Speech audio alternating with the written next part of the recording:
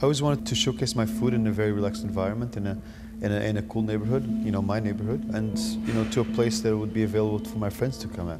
This project, I mean, it, it fit exactly with what I wanted. I made a commitment to stay in this neighborhood. I said that I was going to make my business in the East End. In the, in the start, you know, it was me. Uh, I was a traveler, but now it seems like I've attracted a lot of travelers.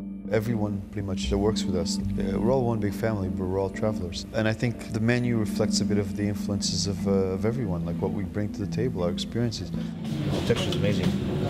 I really like it. Uh, as long as it should be stronger, the milk. Because now we can season it up. Uh, you can actually season it with just now. And, uh, try it. Is it okay? The texture like it? Yeah, fantastic. So it's one hour. Yeah, it's amazing. I love food Japan. I mean, I've spent time in Japan. I've always worked with uh, with chefs that worked with Japanese ingredients. So for me, uh, most the Japanese ingredients are, are, are as familiar as uh, olive oil and salt.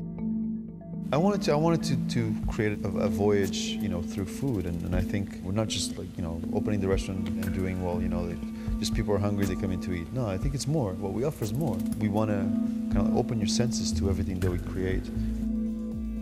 For me, there's, there's sort of like two avenues that I usually explore. And one of them is where we take ingredients out of their context and showcase them under a different light and, uh, and work with them in unusual ways, which you know, which I think are exciting and different, but also still true to the ingredient itself. The other one is also just to showcase the purity of one ingredient. So I, I usually have on my menu a dish based perhaps on, on raw fish or or just a, a simple raw vegetable, just because of it's the right time for it, and you know there's going to be a lot of components perhaps on the dish, but the main character is still that product. And a lot of times it's just a, a very clean product, just very simply prepared.